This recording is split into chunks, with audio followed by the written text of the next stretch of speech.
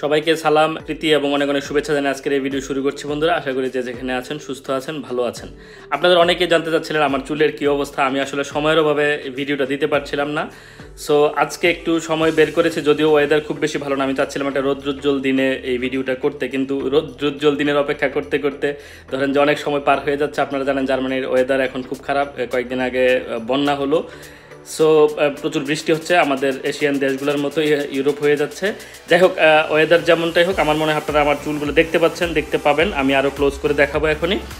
So আপনারা জানেন অনেকেই হয়তো যে আমি তুরস্কের ইস্তাম্বুলে হেয়ার ট্রান্সপ্লান্টেশন করিয়েছিলাম। সেটা এপ্রিলে ছিল, এখন জুলাইয়ের শুরুর দিকে আমরা আছি। সো তিন মাস হচ্ছে, তিন মাস পরে চুলের কি অবস্থা সেটা আজকের এই ভিডিওতে আপনারা মূলত দেখতে পাবেন এবং সম্পর্কিত আরও কিছু তথ্য, এই সম্পর্কিত আরও কিছু তথ্য আজকের এই ভিডিওতে আমি দেওয়ার চেষ্টা করব এবং আমি কোথায় চুলের ট্রান্সপ্লান্টেশন করিয়েছিলাম এবং কত খরচ করেছিল, আমি কী কী ধরনের মেডিসিন ইউজ করেছি বা করছি, সার্বিক তথ্য নিয়ে আমি একটা প্লে লিস্ট বলে, বারবার ভুলে যাই। সার্বিক তথ্য নিয়ে আমি একটা প্লেলিস্ট করেছি। সেই প্লেলিস্টের লিঙ্কটা আমি ডিসক্রিপশন বক্সে আপনাদের দিয়ে দিচ্ছি। আপনারা ওই ভিডিওগুলো যদি একটু দেখে আসেন, তাহলে আরও সার্বিক ধারণা পাবেন। হেয়ার ট্রান্সপ্লান্টেশন সম্পর্কিত যত ধরনের তথ্য লাগে সেইগুলো আপনারা ওই ভিডিওগুলো দেখে আসলে হয়তো পাবেন আর কি। তো আমার বিশ্বাস এই ভিডিওটা যদি আপনারা শেষ পর্যন্ত দেখেন, হয়তো একটু ধারণা পাবেন তিন মাস পরে চুলের গ্রোথ কতটা হয়, কী কী ধরনের প্রতিবন্ধকতাগুলো থাকে, এবং কোনো ধরনের পার্শ্ব প্রতিক্রিয়া থাকে কি না পিআরপির কিছু বিষয় থাকে, সেগুলোই আমি আজকের এই ভিডিওতে মূলত আপনাদের সঙ্গে শেয়ার করার চেষ্টা করব। পুরো ভিডিওটা শেষ পর্যন্ত দেখতে আমার সঙ্গেই থাকুন।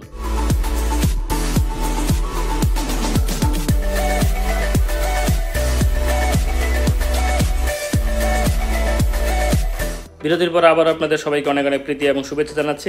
কথা আর বেশি না এই আজকের এই ছোট্ট ভিডিওটা আমি এখনই শেষ করে দিব। বেশিক্ষণ আপনাদের সময় নিব না। আমার বিশ্বাস আপনারা উপভোগ করবেন। সো আপনারা জানতে চাইবেন যে চুলের কী অবস্থা। আমি একটু কাছে এনে আমার ক্যামেরাটা একটু দেখাই আপনাদেরকে। তার আগে একটা ডিসক্লেমার আপনাদের একটু দেই। যেমনটা বলছিলাম যে ওয়েদারের বিষয়টা ওয়েদারটা তো আপনারা এই মুহূর্তে দেখতে পাচ্ছেন খুবই ক্লাউডি একটা অবস্থা। আর একটু ভালো হলে হয়তো আপনারা দেখতে সুবিধা বাট আমার মনে হয় আপনারা দেখতে হয়তো পাচ্ছেন, যদি আমি একটু খুব ক্লোজ করে দেখাই আপনাদেরকে। আপনাদের অনেকে আমাকে বলেছিলেন যে আপনার কপাল তো অনেক বড়, এত খালি কেন? দেখেন একটা জিনিস, আমি আপনাদেরকে দেখাই। যদি আমার চার আঙ্গুল দেখাই, দেখেন আমার কিন্তু চার আঙ্গুল কাবার করে না। তিন আঙ্গুল ইভেন ইভেন ইভেন যদি আমি তিন আঙ্গুল, তিনটা আঙ্গুল দেখাই আপনাদেরকে, দেখেন আমি দেখাতে কষ্ট হচ্ছে, কিন্তু দেখেন দেখেন। তো আপনারা কি বলতে পারবেন যে তিন আঙ্গুলের বেশি চার আঙ্গুল পর্যন্ত হয় মানুষের কপাল নর্মালি তো তিন আঙ্গুল যদি হয়, আমি আপনারা, আমার তো এখানে আর চুলের ইয়ে করাবে না মানে কি বলে যে চুল লাগাবে না, এখানেও না ঠিক আছে, এই দিকটাতে হয়তো আমার, আমি জানি না কেন লাগায়নি বাট আমি আমি শিওর না এখানে কেন, কিন্তু আমার ধারণা যখন এগুলো বড় হবে এবং এই দিক থেকে যখন ইয়ে হবে, চুলগুলো হয়তো আসবে বড় হলে তখন হয়তো কাবার হয়ে যাবে, আর এদিক দিয়ে আমি যেহেতু পিআরপি দিচ্ছি। আপনারা জানেন যে পিআরপি মানে হচ্ছে প্লাটিলেট রিচ প্লাজমা নাকি প্লাজমা রিচ প্লাটিলেট হোয়াট আমি ডিকশনারি দেখার এখন সময় নাই। সো এই যে পিআরপি চিকিৎসা নিচ্ছি, তখন যদি আমাকে এই দিক দিয়ে ইয়ে করে মানে দেয়, যেমন আমি একটু খুব কাছে এনে দেখাই আপনাদেরকে, কিছুক্ষণের মধ্যে আমি কাছে এনে দেখাবো। সো এই এই দিক দিয়ে যখন চুলগুলো একটু আসবে, তখন কিন্তু আপনার একটা ন্যাচারাল লুক চলে আসবে। আমার বিশ্বাস এখনও ওইভাবে উঠে নাই। আর আপনারা অনেক সময় জানেন যে তিন মাস কিন্তু আসলে শেডিং পিরিয়ডই বলা যায়। মানে চুল পরে যাওয়ার টাইম তিন মাস পর থেকে আসলে গ্রোথ শুরু হয়। আপনারা এখন যে চুলগুলো দেখতে পাচ্ছেন ফর্চুনেটলি হোক আর আনফর্চুনেটলি হোক, আমার কিন্তু এখনও চুল ওইভাবে পরে নাই। যেগুলো ট্রান্সপ্লান্ট করেছে, তার ম্যাক্সিমাম কিন্তু আমার আছে। অনেকের কিন্তু চুলগুলো পরে যায় এবং এইট্টি নাইনটি পার্সেন্ট ক্ষেত্রে সব চুলই পরে যায় অনেকের। অনেকে আতঙ্কিত হয় যে, ভাই, আমার তো ভাই সব চুল পরে যাচ্ছে পরে যায়, কি করব? আসলে ওইটা কিন্তু সাইড ইফেক্ট না, কোনো কিছুর এটাই এটাই নিয়ম। ওই গোড়া থেকে চুলগুলো হয়, যেগুলো আমি আগের অন্যান্য ভিডিওতে বলেছি। সো এখন আমার ক্ষেত্রে যেটা হয়েছে, আপনারা দেখতে পাচ্ছেন মোটামুটি চুলের কিন্তু, বল, আমাকে কিন্তু আর কেউ ওইভাবে টাক বলতে পারবে না, ঠিক না? মানে আর আপনারা যে বললাম যেটা, যে কপাল যেটা বলছেন, দেখেন আমার তিন আঙ্গুলের বেশি কিন্তু ইয়ে না মানে আমি যদি সোজা করে ধরতে পারছি না সো আমি সোহারদেরকে হয়তো দেখাবো, সোহারদের কপালটা কয় আঙ্গুল, তার আঙ্গুল দিয়ে আর কি। সো তখন আপনারা বুঝতে পারবেন যে আসলে মানে ঠিকই আছে। হয়তো বড় মনে হচ্ছে আর কি কপালটা সামহাও আরেকটা ব্যাপার হচ্ছে চুল যখন ট্রান্সপ্লান্ট করা হয়েছে, সেই কারণে অনেক সময় হয়তো বড় লাগতে পারে। তোমার চুলগুলো একটু দেখাও তো দেখি। তোমার কপাল কত বড় কয় আঙ্গুল? দেখি। এই তো। সোজা করো, এই তো। তোমার তো চার আঙ্গুল ইভেন তিন আঙ্গুল তোমার কপাল। নিচের আঙ্গুলের নিচে নামায় ফেলা দেখি নিচেরটা হ্যাঁ হ্যাঁ দেখো তিন তিন আঙ্গুল। তো আমার কপাল কেন সবাই বড় বলে আমি বুঝি না। ঠিক আছে? তো চলেন আমি একটু চুলের ক্লোজ শট আপনাদেরকে দেখাই তাহলে হয়তো আপনাদের আরও দেখতে বুঝতে সুবিধা হবে। এখানে অনেক বেবি হেয়ার আছে যেটা আমি ক্যামেরা থেকে দূর থেকে ধরলে আপনারা হয়তো বুঝতে পারবেন না সেজন্য আমি একটু কাছ থেকে দেখাই।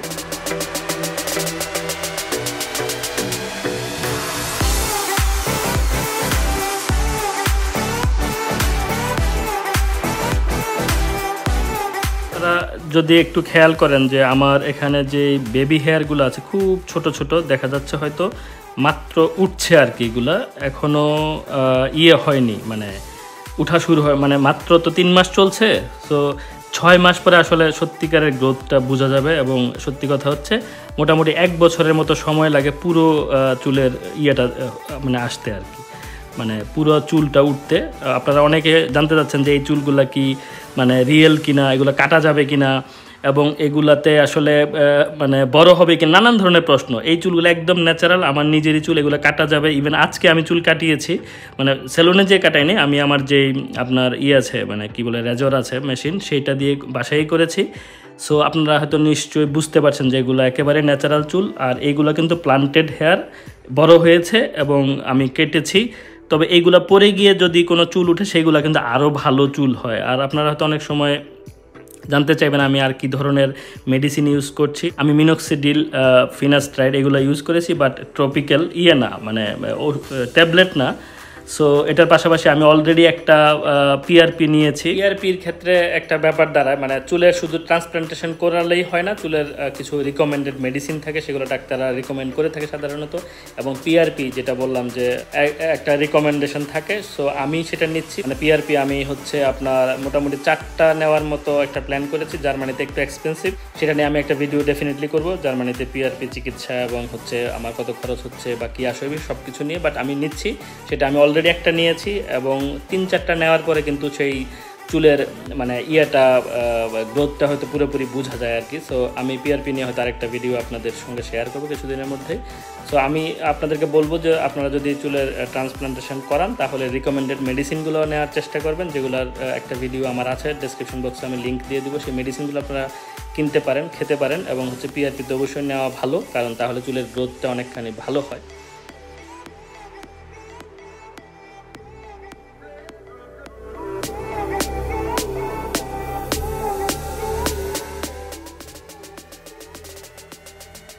সো বন্ধুরা, আপনারা আমার চুলের তো এই নানান বিষয়টি সেগুলো দেখলেন এবং বুঝতেই পারলেন কেমন। আমি আসলে আরেকটু ক্লোজ করে দেখাতে পারলে ভালো তো বাট আমি জানি না যে কেন দেখানো যাচ্ছে না। আমি খুব কাছে আনলে চুলগুলা ফেটে ফেটে যাচ্ছে মানে ছবিটা ফেটে ফেটে যাচ্ছে।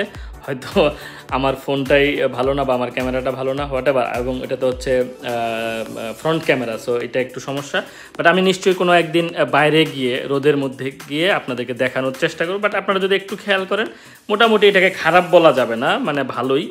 আপনারা অনেক অনেক সময় জানতে চাইতে পারেন যে আমি কোথায় করিয়েছি, যেমনটা বললাম যে আমার অন্যান্য ভিডিওতে আছে।